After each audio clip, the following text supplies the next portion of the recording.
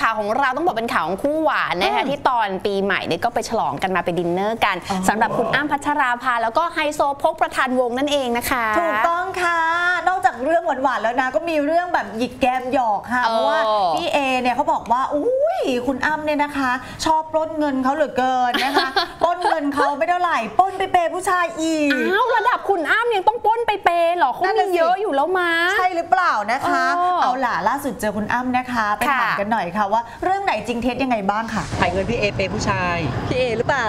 พี่เอเขาว่าชอบพี่เปอ้ำย์หรออ้ำไม่เคยเป็นผู้ชายอ้ำงกกระตายแต่ว่าแต่ว่ามีการถ่ายเกิดขึ้นเราชอบพี่เอจริงมั้ยชอบมากเออปล้นไทยไม่สนุกเท่าพี่เอไม่พี่เอสนุกมากอะแต่เรายืนยันว่าไม่เคยปล้นของพี่เอแล้วมาแบบเปย์ผู้ชายหรอพี่อ้ำไม่มีเลยค่ะไม่มีเลยเขาปักปั๊มใช่ไหมคะ เขาปักปันจริงๆอะเขาว่าชอบเปย์เด็กผู้ชายเออเปย์ตลอดค่ะเปย์ตลอดปวดเรียกตำรวจมาจับ โอ้โห อยากดูข่าวแซ่บๆเผ็ดๆ เหมือนพิธีกรข้างๆ ของออแบบนี้นะคะ อย่าลืมเลยค่ะ subscribe ด่วนๆเลยนะคะ ที่ไหนคะน้อง นี่เลยค่ะ ดาราเดลี่ official นะคะ จะได้มีกำลังใจตัดกระโปรงสั้นขึ้นไปอีกค่ะ